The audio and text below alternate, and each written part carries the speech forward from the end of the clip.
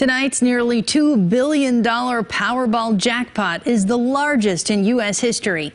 Today, KELOLAND's Dan Santella stopped by one store selling tickets for the giant jackpot.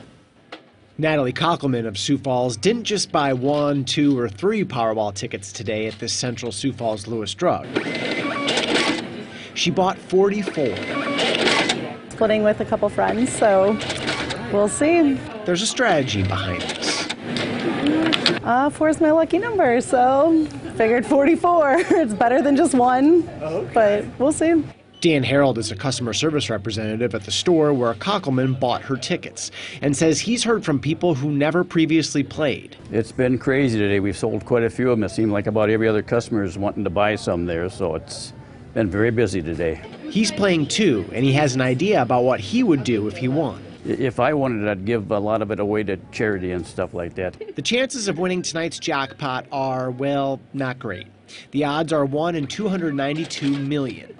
And while the jackpot is $1.9 billion, the cash value is just a pinch over $929 million. And of course, federal taxes would drop that number further. Still, someone might be taking home a lot of money. And that tremendously fortunate person could, theoretically, live in South Dakota.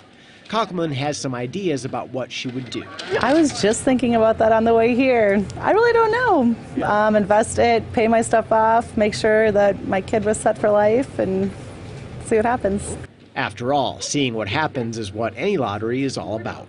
In Sioux Falls, Dan Santella, KELOLAND News. The next drawing will take place tonight just before 10 o'clock Central Time. So